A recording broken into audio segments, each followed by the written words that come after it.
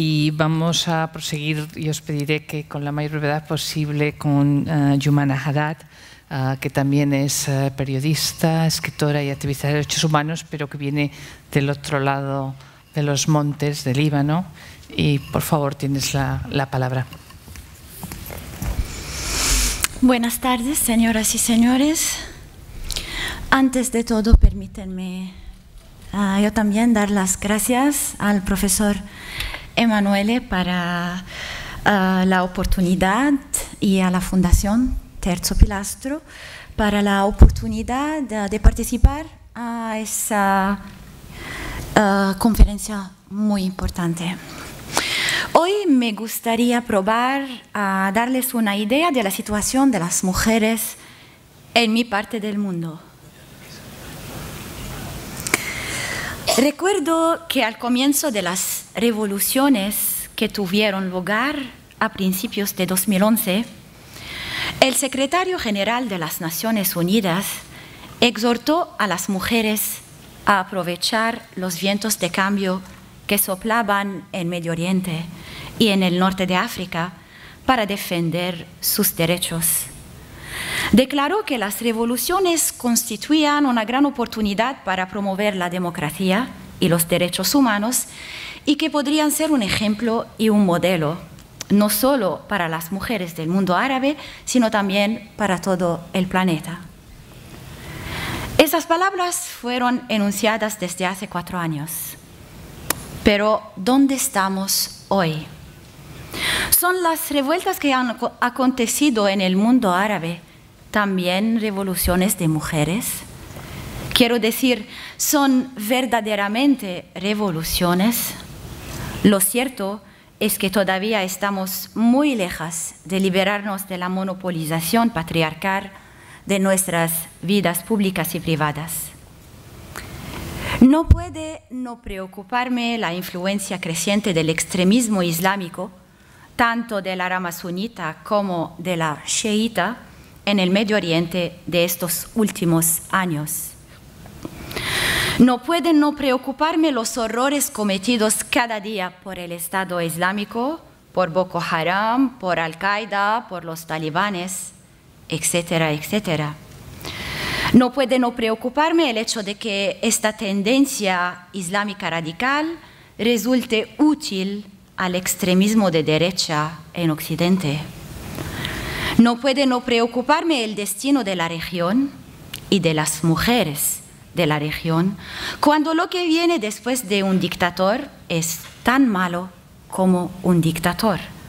Un régimen fundamentalista basado, entre otras cosas atroces, en el aumento de la misoginia, la violencia, el patriarcado, la segregación, la intolerancia y la discriminación hacia las mujeres.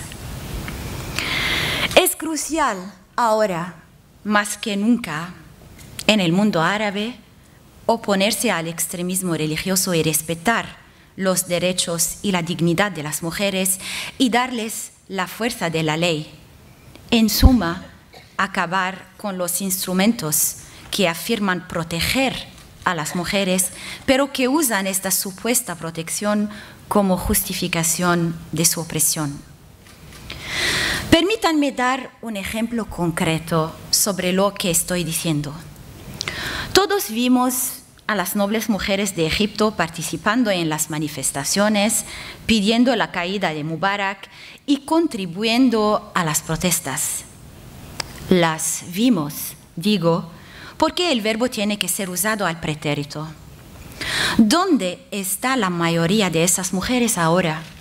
Y dónde está la realidad de sus voces necesarias y su compromiso directo en el tejido del futuro, de sus leyes y valores.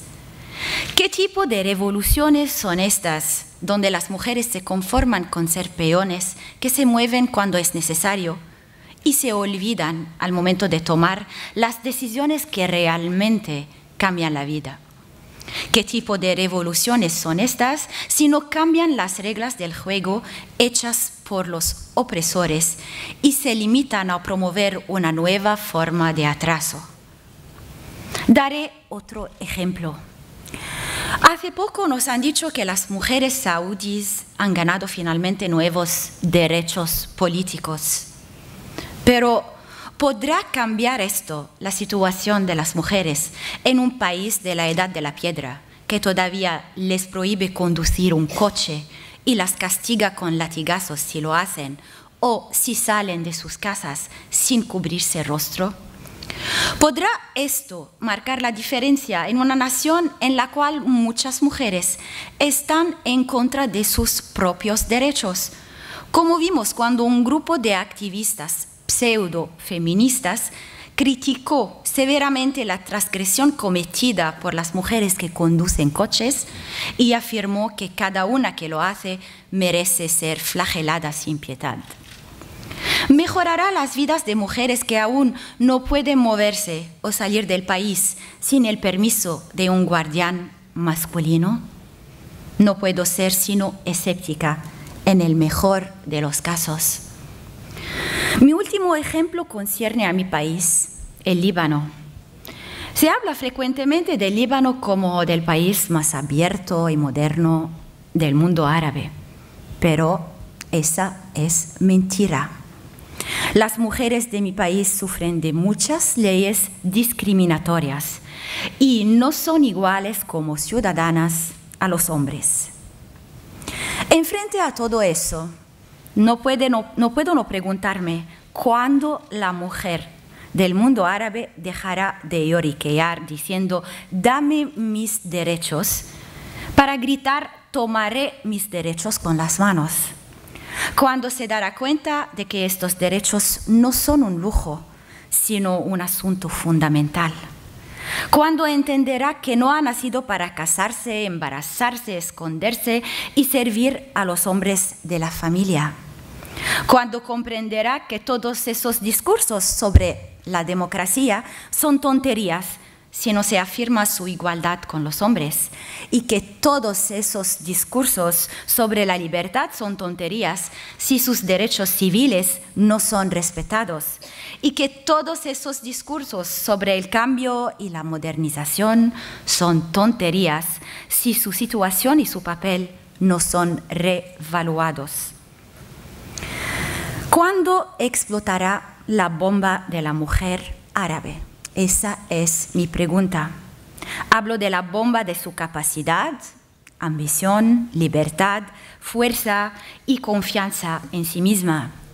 La bomba de su rabia, de su furia, de su indignación en contra de lo que le ha sido impuesto y que ella a menudo, muchas veces, acepta de manera acrítica.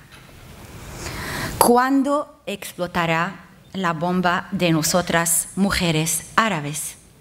Explotará esa bomba solo cuando empezaremos a luchar contra el mediador que vive en nosotras, contra las enemigas que tenemos por dentro.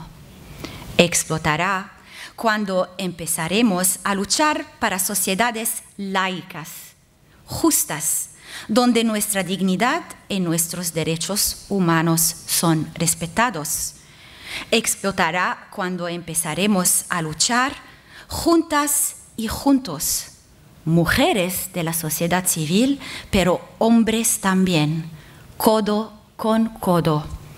Esta es la verdadera revolución que necesitamos y que yo espero.